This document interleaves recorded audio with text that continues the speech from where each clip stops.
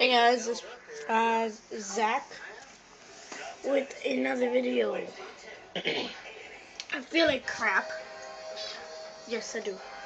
But uh, this is an update. I'm not sure if I said that already, but there was a big patch there that I filled in. Frogger. But um, yeah, I filled in that patch, and look, tile. Yes, I got tile. I put in tile, which looks awesome. It was five bucks for six pieces of six by six.